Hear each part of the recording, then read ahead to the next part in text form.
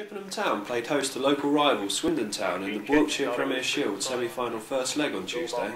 Striker Luke Hopper made his long-awaited full debut for the Bluebirds against his old club, while the Robins named a strong line-up including first-team players Adi Williams, Jamie Vincent and Jon-Paul McGovern. Commentary on the game comes from Nick Masheter. Anzite. Arrieta, and it's just over the bar. Great strike from the Portuguese. Took a deflection, could be a corner. McGovern chips it in. Eiffel's there. Snoddy easily collects. Could have made more of that chance. Aarons, while he comes across. And this is strike. Good save by Snoddy, slightly deflected. Adams was there on Anzite. Great tackle by the right back. Swings it in from the right. Barry Corr. McGovern deflected. Ollie Price, Eiffel's there, drives it, headed away by Kai Holly.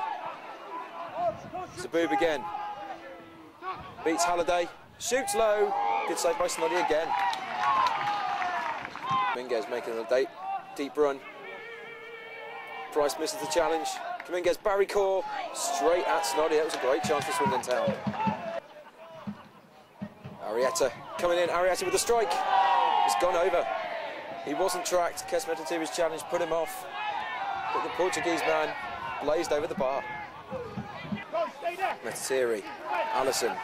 Halliday making the run now. Cornwall's corner. Halliday's there! Just headed wide. Dominguez going for the short ball. Chippenham Town again, slow out the blocks. Dominguez, ball to the far post. Headed over by Hammonds. Good chance for Swindon Town. Kai Holly. Near post corner this time, out by Hammonds. Luke Hopper. Back out to Kai Holly. Up against Dominguez. Swings it in. Allison. Metatiri. Cleared. Under pressure from Ross Adams by Jon-Paul McGovern. Swings in the ball. And it's there. Caton, the substitute. Free header. He got in between Adams and Metatiri. Not even no chance. Great ball in by McGovern and the substitute on for Barry Corr at half time heads Swindon Town into the lead.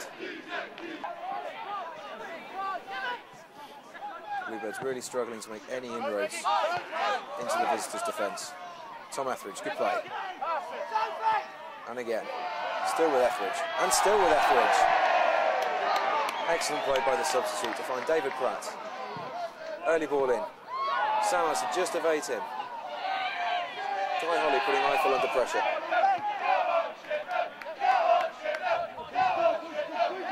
Still with Eiffel. Holly still harries. Etheridge wins the ball. To Holly, and it's a free kick. Eiffel took Holly out off the ball. Told to calm down by the referee. Free kick, Kai Holly again. Better ball this time. And a great save! It was Jake Reed with the flick header. And a fantastic save by Scott. Great reaction by the keeper to push Reed's head around the post. Arrieta, and it's a goal. 2-0 to Swindon. Chippenham appealed for offside. The Portuguese frontman took full advantage. Easily beating Chris Snoddy, good finish. Chippenham Town nil, Swindon Town 2.